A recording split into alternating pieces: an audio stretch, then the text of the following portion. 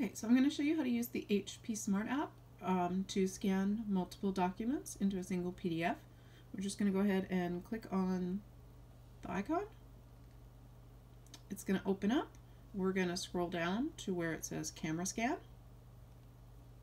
And then we're going to get the document that we want to um, add in.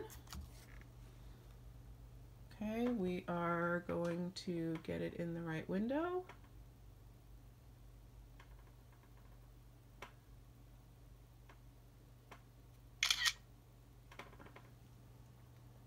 Okay. Um, once we've got it in that window, we're going to get a screen that looks like this, where it's trying to decide what we want um, to put in. I didn't take a very good picture because I'm doing this with one hand. I'm just going to say okay. now, to add another document, what we're going to do is we're going to press the big plus button down here. Okay, and it's going to give us a chance to take another picture.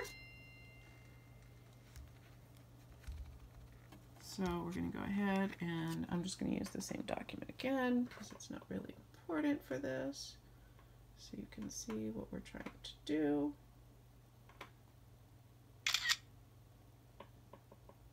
Okay, so um, once I've got that picture, I'll go ahead and click next. Okay, and I can keep doing this until I've got all of the pages that I want to add. If I want to add another page, I hit the plus button. If I'm finished with all of the pages that I need to add, then I go ahead and at the bottom, you see where it says um, share and save. We're going to go ahead and click the share and save button. And it's going to open this page. On this page, what I need you to do is I need you to, under file name, um, you're going to go ahead and type a name for your file in here. I would like it to um, be your name.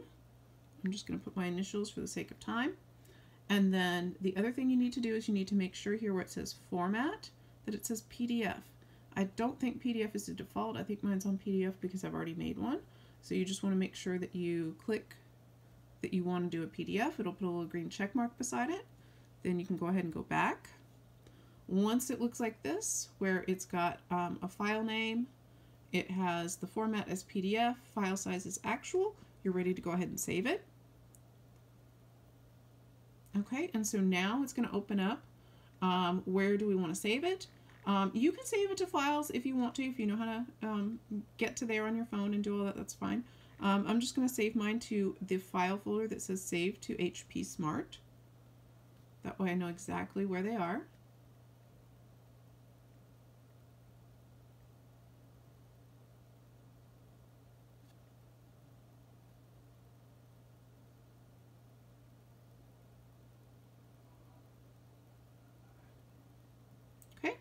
Um, now that it's saved, I can go ahead and exit out of this app. And I'm going to go over to the Teams app. So I'm going to go into Teams. I'm going to go to Assignments. I'm going to choose an assignment for a class that I'm a student in, so I'm just going to pick high school dance because I'm a student in that class. Okay, I'm going to pick a random assignment just to show you how to do this. We're going to click on Add Work. It's going to ask us to attach a resource. We're going to choose Upload from this device. And we are going to choose to browse. Okay, normally what comes up is that you are going to get, um, when you click browse, you're going to get something like this that has a list of all the folders that you have things saved in.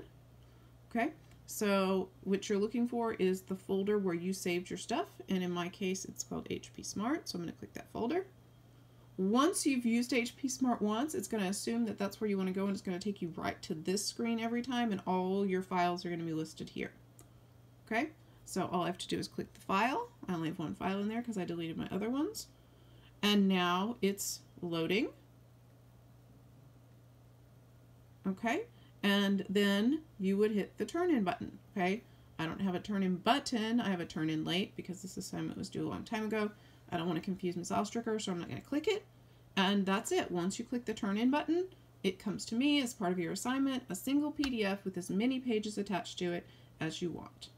Please let me know if you have any questions.